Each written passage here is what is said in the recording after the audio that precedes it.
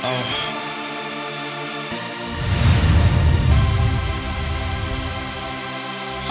This is our homecoming. We're, we're, excited to be back. One of the craziest ABDC experiences. Jabbawockeez is about to have the biggest show that we've ever done. It's go time.